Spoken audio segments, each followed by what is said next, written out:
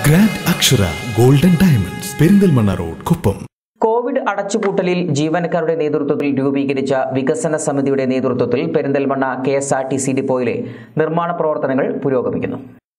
Covid അടച്ചുപൂട്ടലിൽ ജീവനക്കാരുടെ നേതൃത്വത്തിൽ രൂപീകരിച്ച വികസന സമിതിയുടെ നേതൃത്വത്തിൽ Perinthalmanna K S R T C ഡിപ്പോയിലെ നിർമ്മാണ പ്രവർത്തനങ്ങൾ പുരോഗമിക്കുകയാണ്.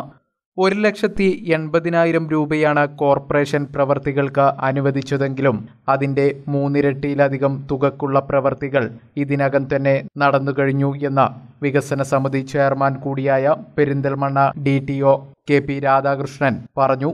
ഇതിന് ജീവനക്കാർക്ക് പുറമെ കെ എസ് ആർ ടി സിയിലെ പെൻഷൻകാരും സമൂഹത്തിലെ മറ്റാളുകളും സഹകരിച്ചിട്ടുണ്ടെന്ന് ഡി ടി ഒ പറഞ്ഞു.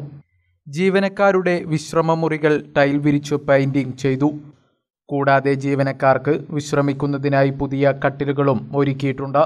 യാത്രക്കാരുടെ ബസ് വെയിറ്റിംഗ് ഏരിയ വീതി കൂട്ടി ടൈൽ വിരിക്കുകയും ഇതുൾപ്പെടെ സ്റ്റേഷൻ മാസ്റ്റർ ഓഫീസ് കെട്ടിടം പെയിന്റിംഗ് നടത്തി മോടി പിടിപ്പിക്കുകയും ചെയ്തിട്ടുണ്ട്.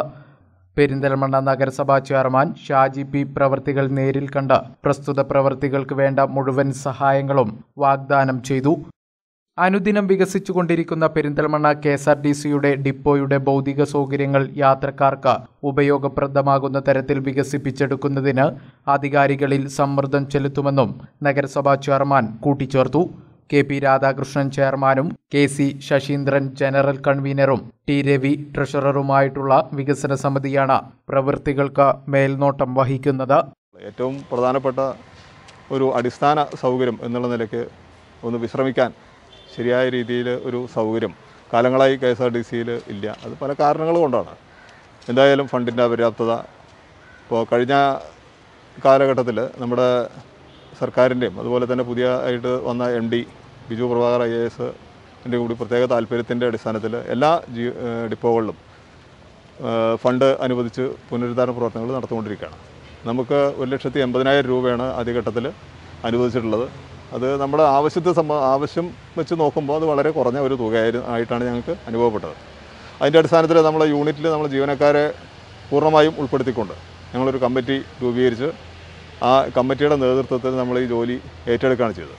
ഇതിൽ ടൈൽസിന്റെ വർക്ക് അതുപോലെയുള്ള ചില പ്രവർത്തികൾ ഇപ്പോൾ ഒരു ഗ്രില്ല് വർക്ക് അങ്ങനെ ഉള്ള ചില കാര്യങ്ങൾ മാത്രമാണ് പുറത്തുനിന്ന് നമ്മൾ ആളെ വിളിച്ച് ചെയ്തത്. ബാക്കിയുള്ളതൊക്കെ നമ്മുടെ ജീവനക്കാർ തന്നെയാണ് ചെയ്തിട്ടുള്ളത്. പിന്നെ അതോടൊപ്പം തന്നെ നമ്മൾ ഈ ജീവന ജീവനക്കാരുടെ സൗകര്യം വർദ്ധിപ്പിക്കുന്നതോടൊപ്പം നമ്മൾ പാസഞ്ചർ ഏരിയ വളരെയധികം മോശപ്പെട്ട അവസ്ഥയിലായിരുന്നു.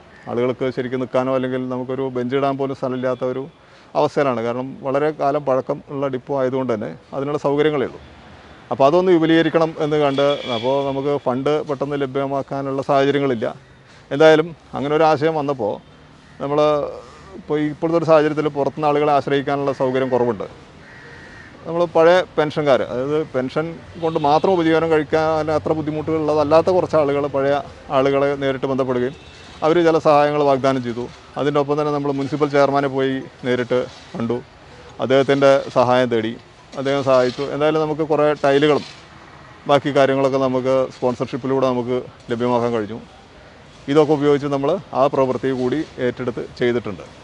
അപ്പോൾ ഇതിൽ നമുക്ക് പുറത്തുനിന്ന് നല്ല സഹായങ്ങൾ കിട്ടിയിട്ടുണ്ട്. ടൈൽ കടക്കാർ കുറച്ച് നമുക്ക് സ്പോൺസർ തന്നിട്ടുണ്ട്.